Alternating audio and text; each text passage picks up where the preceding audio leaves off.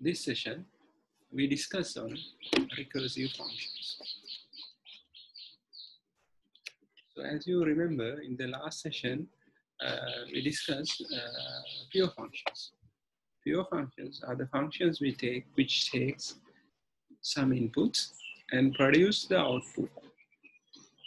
So for same inputs, it should produce the same output. There should not be any side effects on pure functions.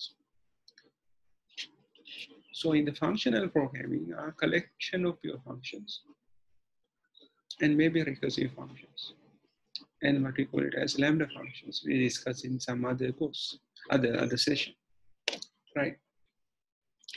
So the idea of the lecture today is to introduce you the recursions. So as you know, when you write functions, inside some functions, we can call other functions. So in the programming, very interestingly, we can call the same function inside the function. So if you call the same function within this within that function, we call it as recursion. So you may learn recursion in other uh, classes as well, but let's have a look a little bit in detail how recursions works, what type of recursions are available, why it is very interesting concepts in programming. So in the first example, I will show you a recursion function called BLAST. So this function, as you see, take a one input type and it return anything, it's fine. It's a un unsigned int return, that's any anything. And then here it prints the line. So whatever we input here as an input n, it print that value here. After that, it check whether the given n is less than or equal to 1.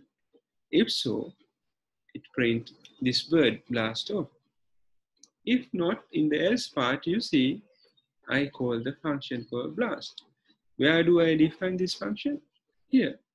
So that means within the same function, I call that. I call the same function within the body of the function. So that call it as recursion. So what's happen if you call that particular function called blast with number three? So if you call it with a number three, so, so first, first instance, it print the number three and three is not less than or equal one. So because of that, it calls again the blast function with number two. So then it print number two. Then it print number one. And then finally, it print blast off. So you see, it's, it's called the same function in several rounds. And then it gets stopped. So as I said, the execution of the blast begins with N3 and print 3 on the terminal. Since n greater than 1, call itself. And then execution of blast begin with number 2 again. And then it print 2. And since 2 is greater than 1, then it's call itself. And then its execution start with N1 and in print 1 on the terminal. Now n is equal to 1. Because of that, it print blast off. It may not be called that function again. So it just print blast off. And with that, stop repeatedly calling the same function. So this condition which we check to stop recursively or repeatedly calling the same function, it call it as base condition. Based on the base condition, the recalling of the same function gets stopped. So that's how basically recursion works.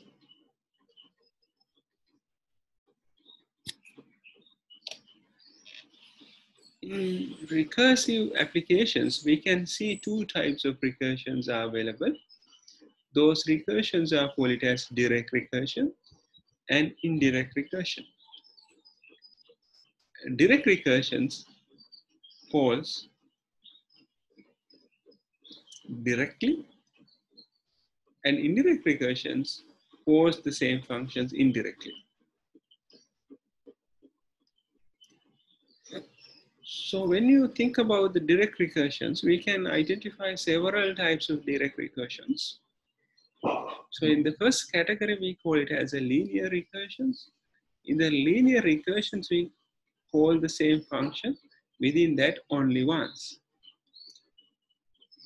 So that call is the last function or last, last statement on the program or the function, then we call it as tail recursion. So we can call the same function at any, any place from the function, in the inside the function. Maybe from the beginning or maybe at the middle, maybe at the end, wherever the place. If we call that last function at the end, that is special, it's called as tail recursion.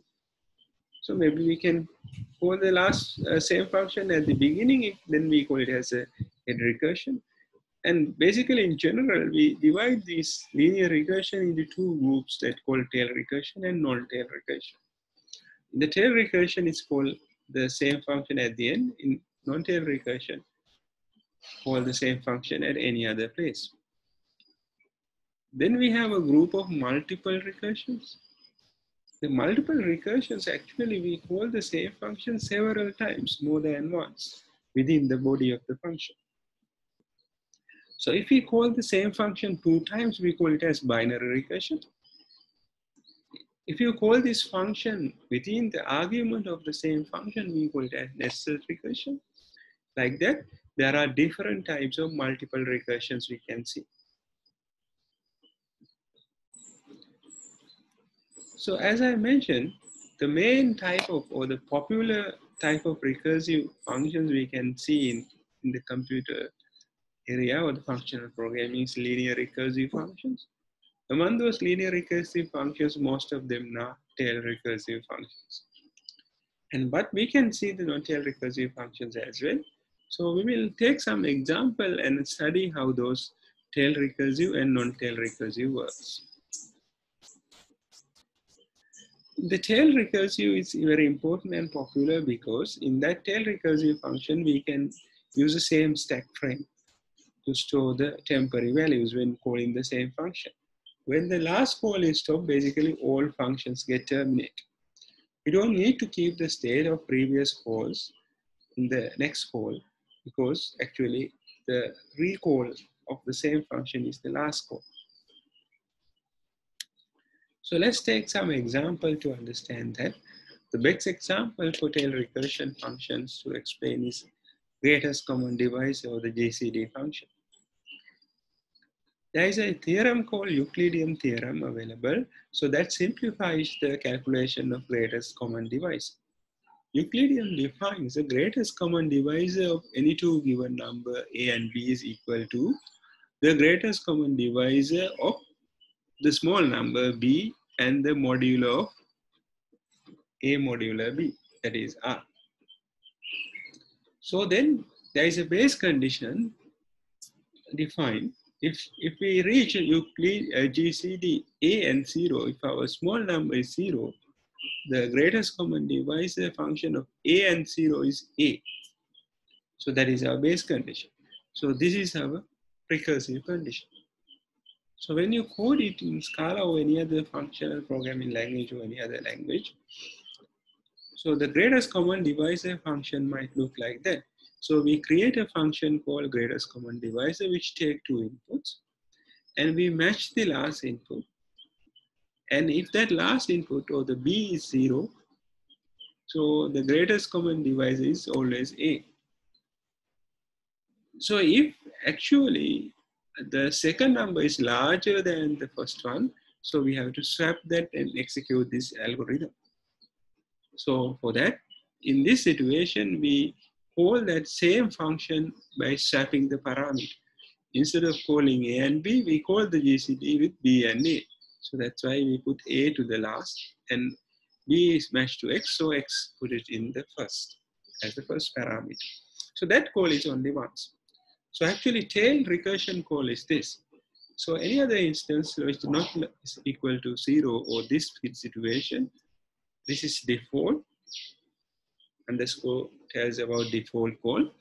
And we call the GCD with the small number b b equal to x. Now we call it with x. Or we can direct write b here with a modular b or a modular x, whatever. So we then we can get this answer. So I will run that demo later on in a separate video and show how it works. It's very interestingly, this will call until this last parameter gets zero and then it returns A. So that is the greatest common divisor of these two given numbers. Similarly, we can use recursive function, maybe tail recursion, to calculate uh, prime numbers. Prime numbers. So you know the prime numbers are the numbers which divide by 1 and the number itself. So we can use the function of greatest common divisor to identify prime numbers. So for example, if you calculate, let's say we want to find it out, the given number n is the prime. So then what we can do, we first calculate the GCD of n and 2. So if there is a factor, we can see between n and 2, that means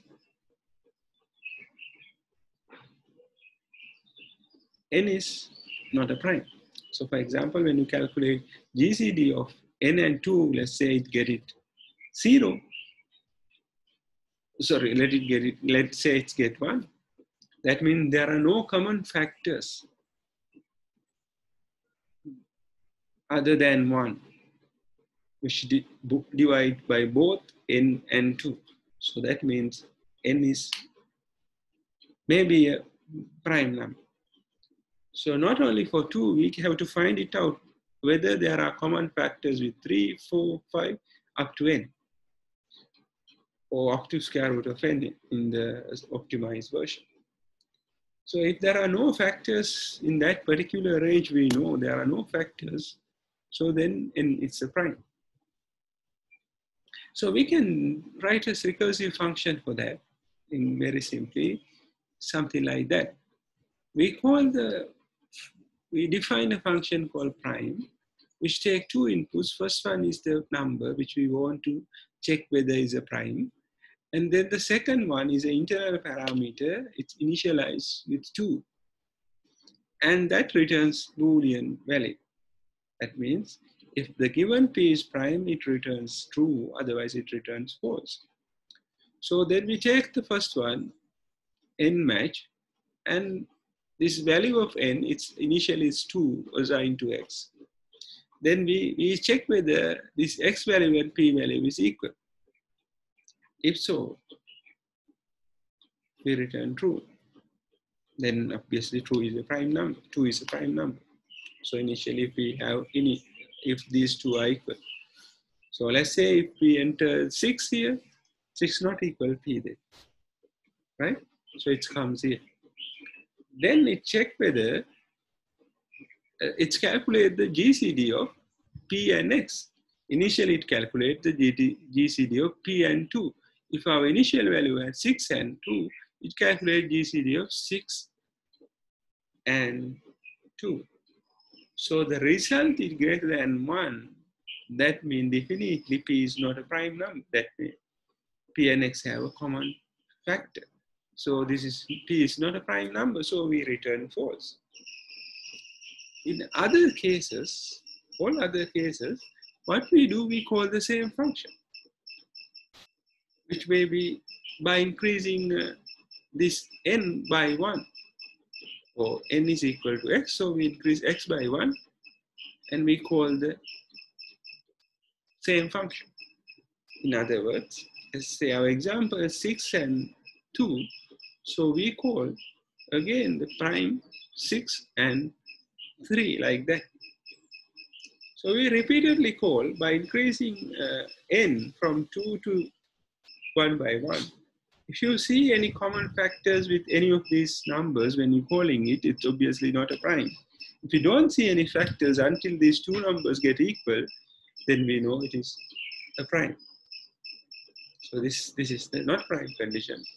This is a prime condition and also the base condition of this recursion. So it's called the same function at the end. So because of that, it is a tail recursion. Right, I will give you some exercise maybe later on to find out, uh, write a recursive function called prime sequence where it calculates the prime numbers from 2 to a given n. Maybe if I enter n 100, you should print, your function should print the prime numbers from 1 to 100. So try to implement yourself this. I will show you how to implement this later on and by understanding how this works, you can further go through the and implement the prime sequence function, which prints all the sequence of sequence of prime numbers up to the given n. Right. Now let's have a look on non-tail recursive functions. In the non-tail recursive functions, call the recursions, not at the last one, maybe as the first or maybe somewhere at the middle. So in order to understand how this works, let's take a function or implement a function called print n that prints numbers from m n to m. So we give two parameters to this n and m, let's say 5 and 10. So then it should print the numbers from 10 to 5. Right? So m is the larger number we assume. Right. So this is a very simple recursive function which I implemented at the prompt, Scala prompt. So I created, a function called print n, take two numbers n and m, we assume m is greater than n, and it not don't return anything. So I put return type any, and this is my recursive call. So my recursive call is if n is smaller than m, I recall the same function by increasing the value of n. So I, let's say my example, my n is 5, m is 10. So then I, n less than m is true. So then I call that again with n6 and m10. So it come back here and then again that condition is true. I call again this print 10 with 710, then again with 810, 910. And when it comes to 10, so this gets false and it may not call that function back again. So then what happens if it is not it call it again? So the last call will end because that may not execute. So last call will end and print the value n on the terminal terminate at the place where n less than m, that is n equal 10, my example. So then it print 10 on the terminal. After it terminates the last call, so you see in the previous call, stop here because when it comes here, if that condition satisfies, recall the functions again without completing it. So only the last call, we are not recall it back because of that it complete the last call. So when it complete the last call actually last call made by the previous call so then it comes here and then try to complete the previous call. So in the previous call n value is 9 in my example. So 9 get print then on the terminal and finish the previous call then it comes to the other code, like the, the one calls the previous code, like that. So it's returning back. So as you may understood in the uh, final call it print 10 and then in reverse back print 9, 8, 7, 5. Try this on the terminal, very interesting, you get the reverse order of the numbers.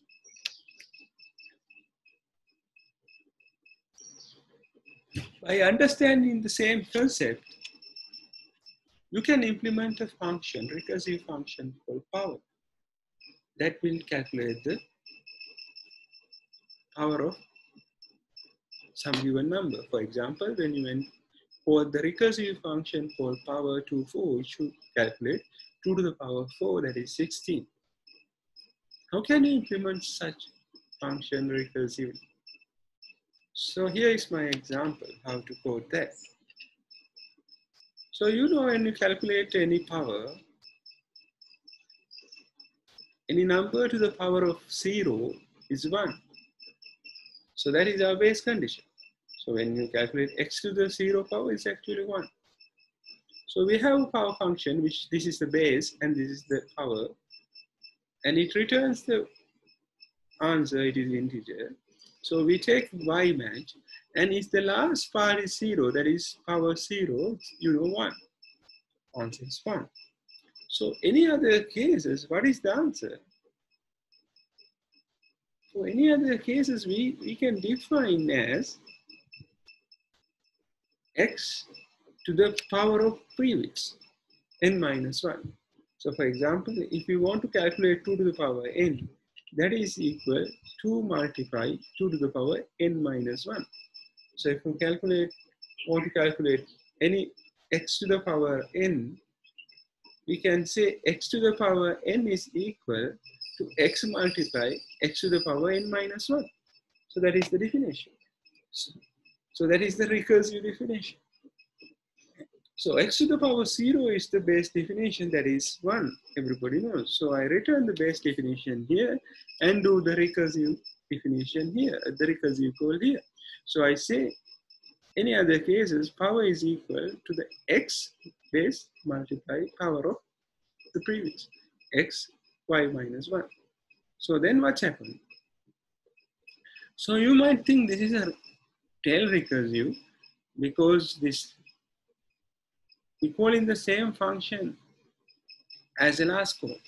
Actually, it's not because we call the same function as the last statement, but after that call, there is some calculation to do. So then what happens if you call the power, let's say with 2 and 3, for example, that is 2 to the power 3, it comes here, 3 is not matched to 0, so it not return 1. It comes to the default case.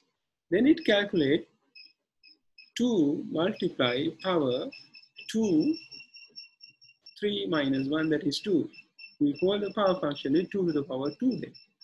So it not comes here and it comes here and then we it say 2 to the power 2 is equal to x multiply power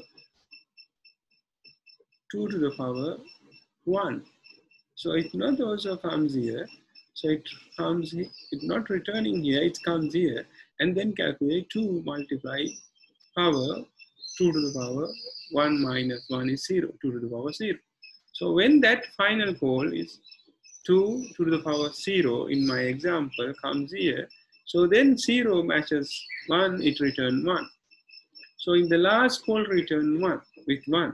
So when it returned last call with 1, so it tried to calculate the answer. So then answer is 1 multiply, this is 2, no? 2, that is 2. So then it returns 2 to the previous. And with that 2, it try to calculate the, this equation or the expression. That is 2 to the power 2, that is 4. It 4 returns the previous.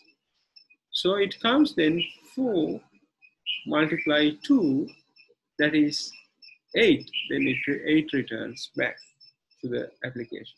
Like that, you can call this power function with any two given numbers it recursively calls the same power functions and eventually find the answer at the end.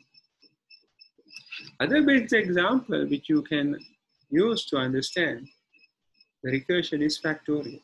So that is a very common. If you say recursive, everybody use factorial to explain that. The factorial is calculation is multiplications all numbers up to n. If you want to calculate factorial n, we need to multiply from 1 to n, all numbers. So for example, factorial 4 is 1 multiply, 2 multiply, 3 multiply 4, that is 24. Factorial 6 is 1 multiply, 2 multiply, 3 multiply, 4 multiply 6, that is 720. Can you write a recursive function for that? Yes, easily we can. So how it would look like? It would look like something like that. So what's happened, we call the factorial x with any number n, assume that is 3. So it comes to this x match statement, that is 3 match. if 3 match to the case 1, that is false. In case it match to 1, it return x. If not in the default, what happened? It's false. x multiply factorial x minus 1. So my initial call is 3, then it call x multiply 3 minus 1, that is 2. So the same function, then this is not satisfied, it's called uh, here and it's called 2 multiply then 1. So then it comes here, obviously 1 equal, then uh, x get equal to 1, then it returns x, that is it returns 1. So you can understand that nicely using this figure. So let's assume in this example, I'm calling my factorial function with 4. This is first call, that is n4. So then it recursively call that factorial with n2. This is second call. Then it call it back with n2 third call, n1 fourth call, when it call with n0 call, basically it returns once. So when it returns once, it calculates 1 multiply 1. This is 1, it returns here. Then it calculates 1 multiply 2. That is answer 2. With the answer 2, it returns here. Then it calculates 2 with the 3. 2 multiply 3, answer 6. Answer C, C, answer C is called it here. Then it called 3, 6 multiplied 4. Final answer returns to the first score, that is 24. So that's how it goes. It's calling the function one after other until it hit the base condition, it returning all the things back to the beginning. So while it returning, it do whatever we asked to do. So that is how non-tail recursive functions works. So this is another picture where you can look at to understand this recursion. So for example, here I calculate this factorial with 3. 3 is 6 multiply factorial with 5. Then I call it back, that is 6 multiply fact 5 multiply factorial 4. Then it call it back, that is 4 multiply factorial 3. Then 3 multiply factorial 2. Then uh, 2 multiply factorial 1 and then 2 multiply factorial 1 return 2. With this 2 it returns to the other. With that it returns to the next. With that it returns to the next. And with that returns to the next. Finally we get that. So it's called the frame function 1, 2, 3, 4, 5, 6 times. Uh, to, and then find the final answer of the sixth call and with that answer, one, he complete the fifth call he did previously. And then it returns two. With that two, he complete the fourth call. And then it returns six. With that six, is complete the second call. That is actually 24 returns. Then with the 24, it's complete the last, kind of like this second call. Sorry, second call 120. And with that, it complete the final first call that is 107. So till it hit the base, it call it again and again, and then complete the, all the rest of the things remaining in the same function. So that is non-tail recursion. In the tail recursions, what happens if terminate here, there are no other works to do. So all the other calls will automatically get terminated without any calculations. So usually it's non-tail recursion will terminate somewhere here because nothing to do after that. So in the tail recursion, in the tail non-tail recursion, what happens after it complete last function, there are something left to do in the function. So then whatever left to do, it will call because recursive action is called somewhere at the middle before completing this function.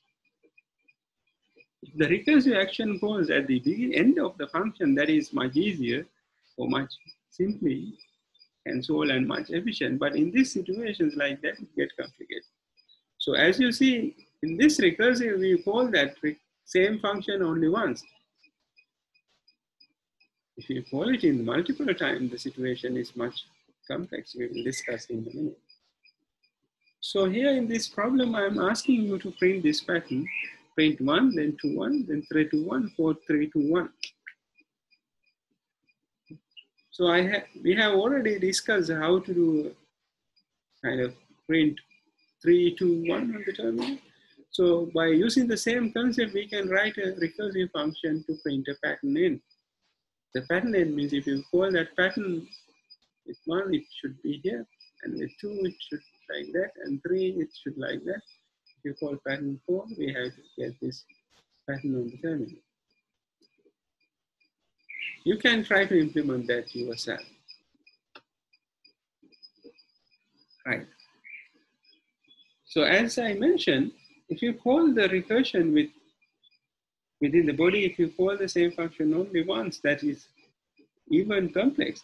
So how about we call the same function multiple times in the body? So you see it's then we ended up with the complicated, we really, really complicated concept. But in order to solve some problems, such recursion is very simple and very interesting to use. So if we call the same function twice in the body, let's call it as binary recursive calls. But not only twice, we can call it in maybe two, three times if, if you wish. The best uh, example to understand this multiple recursive to little bit uh, to discuss the binary because it's also multiple recursive type. That is calling the same function twice. Fibonacci number series is the series of numbers where we could use to understand this concept. Fibonacci series is something defined like that. So it is defined, if Fibonacci 0 is defined as 0, Fibonacci 1 is defined as 1, any other number in this series is actually addition of the previous two. So that means you see this, this number is addition of previous two that is 0, 1, add together we get 1. Then we add 1, 1 together we get 2. Then we add 1, 2 together we get 3. Then we add 3, 2, 5. 3, 5, 8. 5, 8, 30. 8, 13, 21, 13, 21, 34. So like that, we, have, we can generate sequence of numbers. So that sequence is in mathematical, maths called as Fibonacci series. Can you write a recursive function to do that? Obviously, we can do that using non-recursive ways. But in the recursive ways, it's very interesting because we have only three conditions. Using these three conditions, we define this series. What are these three conditions? First one is, if given number is zero, the answer should be zero. If given number is 1, answer should be 1. If given number is any other thing, answer should be adding two previous numbers together. So we can directly put this into the recursive function. So if we code this recursive Fibonacci, something look like. So it's called Fibonacci n and n match. If that n is zero, it's zero. If n is one, return value is one. Yeah. Any other case here, Fibonacci is n minus 1 plus n minus 2. So that's it. So when you call Fibonacci 5, it returns the fifth element of the series. So how do you calculate the Fibonacci 5? You see, if I call Fibonacci 5, these two conditions may not satisfy because it's we call eh, our n is 5, so in, it comes to here. Then it calls with n minus 1 plus n minus 2. n minus 1 is basically 4, n minus 2 is 3. It calls the same function twice, f is a Fibonacci function, twice, first with 4 and then with 3. So when you call it with the same function 4, it comes here and check whether this two condition is not satisfied. So because of that, it called back this 3 and 2. So then it comes here with 3, it calls it back with 2 and 1. Then it comes here and then it calls with 1 and 0. So when you call it 1 and 0, basically two times 1 and 0. And then when it call with Fibonacci 1, you see it's 1 equal 1, it return 1. And then it call, then it go, then it get an answer for this side, 1. Then at that particular call, it goes to the other side. So it get the answer zero. So we add then one to zero, answer is one, it returns to this. Then it knows the F2. So by knowing F2, he try to find F1 again. So F1 again is one, you can see, it's then one, it's add one to two, and that is three, it get the answer for this. So if get the answer for this, is try to complete the answer with F2 and recall this one and zero back and get the answer for F2 and add to that and comes here. So when it get the answer for this branch, it move to this file and then recalling those functions in a similar manner and comes here the answer and finally add this two and return back. You see, so as a binary tree, it call it one after other. Two calls, that is binary recursive example. So it's obviously multiple recursive. Not only two, if you can sometimes, you can two more, we can call that same function more than two times. So then it's, you see, we ended up with a very complicated situation. But in the readability form, readability wise, this form, uh, these functions are very clear. It tells the system what we need. It not tell the system how we should do that. So that is the essence or the core functional program. In the functional programming, we say what we need. We need, we define that. In the case of zero, it is one, case of one, it is one. In other, all other cases, n minus one plus n minus two. So we don't tell the system how to do that, but we tell the system what we need. That is functional programming.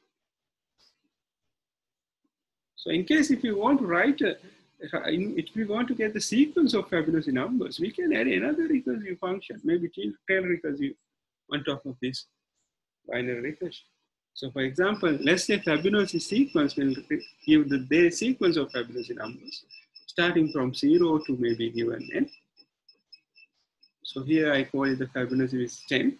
So it would first 10 Fibonacci numbers. How do I do that? So if I check whether the given n is greater than zero, if so, I call the same sequence once with n minus one. Then n minus two, n minus three, and so on. when you get n minus, like finally when you get Fibonacci zero, it will, return zero and zero will be print. Then it call Fibonacci one and terminate with one and get back final to Fibonacci 10. So from 10, n will reduce one by one and then ask for the same function again and again. After it reach one, it comes here. And first print the Fibonacci here.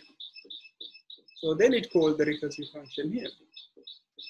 So this recursive is multiple recursive and this recursive tail recursive. so we see so we to we we can have functions implemented in recursive, recursive form or recursion using recursion recursion methods recursive forms and combine those functions in any way to get the final answer what we need. So that's how functional programming works. Very interestingly, we could have mutual recursive as well. So that is the way we do indirect recursion. Repeat, there are two categories, direct and indirect recursions. Direct recursions call the same function directly. There are two types like linear and multiple direct recursion. In the linear direct recursion, we call the same function only once.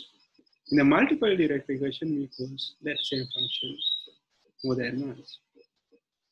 Under linear recursion, we can call the same function at the end that call it as tail recursion. Or in the linear recursion, we can call the same function at any other cases. Then we call it as non-tail recursive function. So all are linear recursive because only one call. Then in the direct under direct recursive, there are multiple calls. So one of the like example is binary recursive. In the binary recursive, we do two calls. So we discussed the example of fabulous. Not only two, we can have multiple fours. So then situation is much more complicated. You may get confused further. So I'm not going to discuss. So you can try yourself and see what happens. So all are direct recursive. So similarly, in the recursion, indirect recursive works. Indirect recursive means, for example, there is a function called A that might call a function called B, and then B might call a function C, and C might again call A. So that is kind of mutual recursive.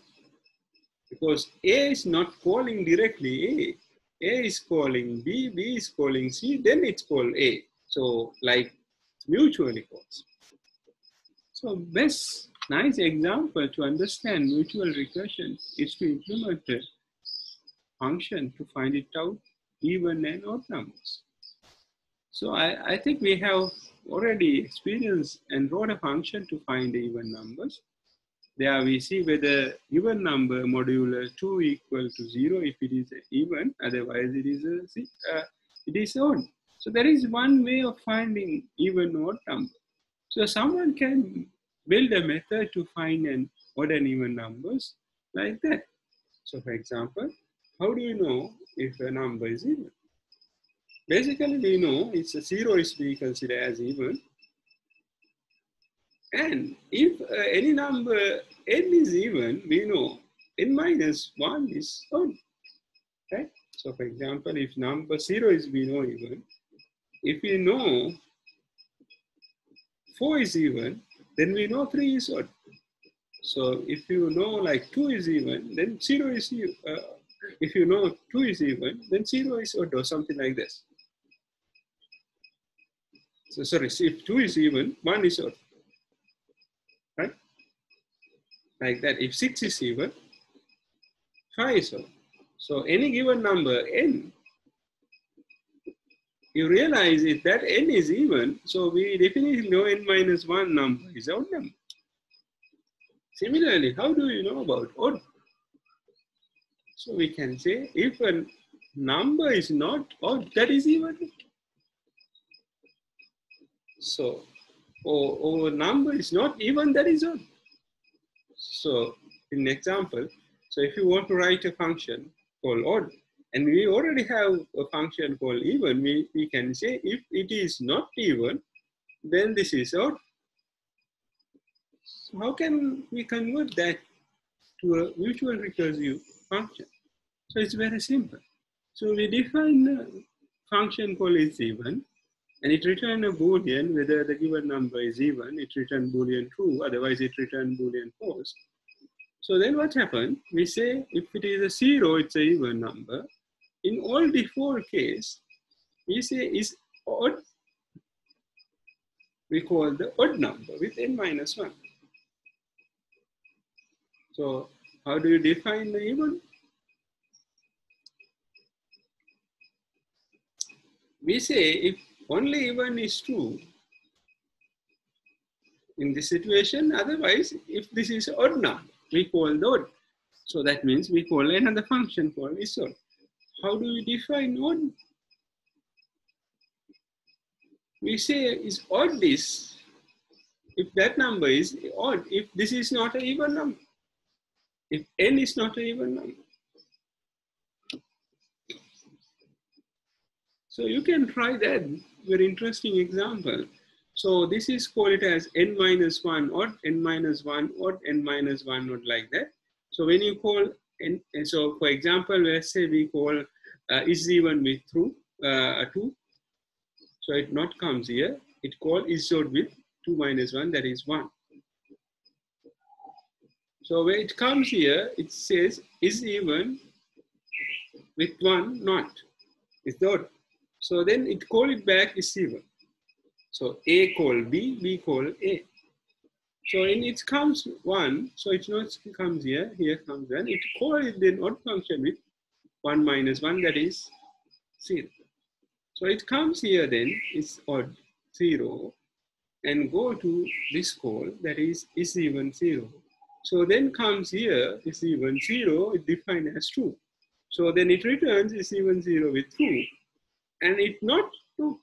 So then it returns it dot with false. So then it comes here, it's false.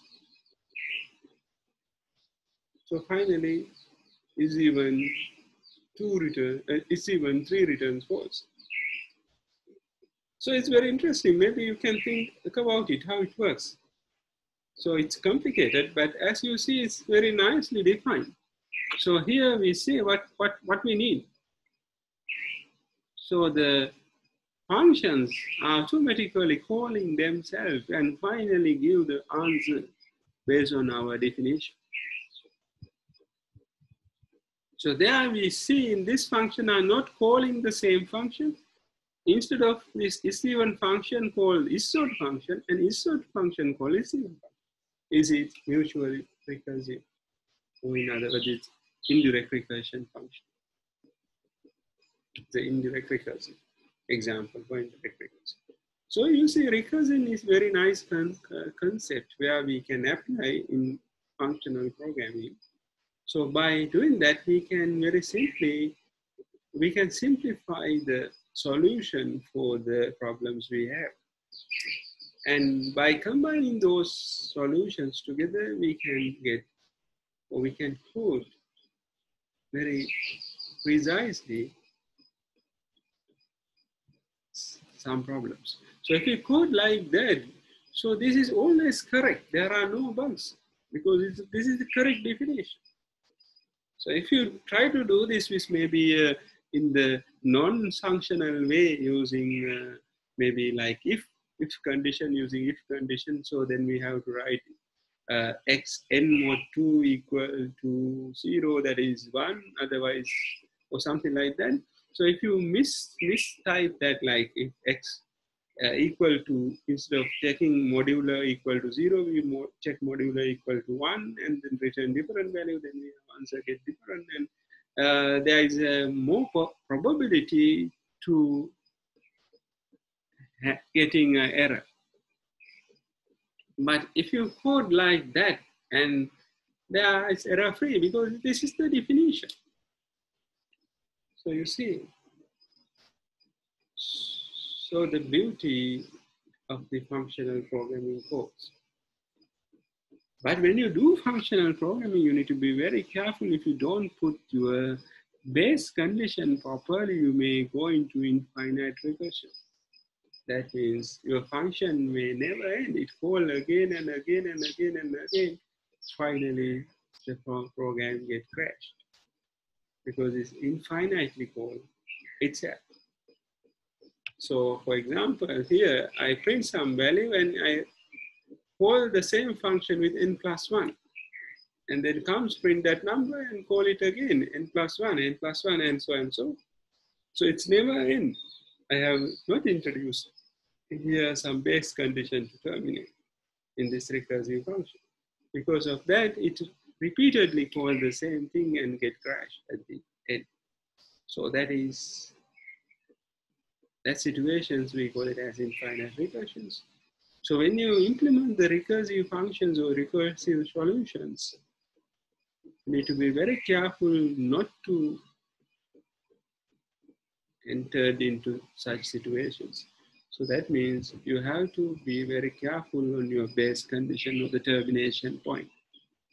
So under which uh, uh, conditions that returns or that stop the execution without calling it again. So that is called as base condition. Only any other situation, we call the same function again and again, but we have to write a condition within the body of the function, define how to stop it without calling it again. If there are no such base conditions, or if we not properly included a base condition, we might go for infinite recursion. Okay, with that, I can conclude that uh, session we discuss functional programming. In a separate video, I will uh, demonstrate you those codes and how it works.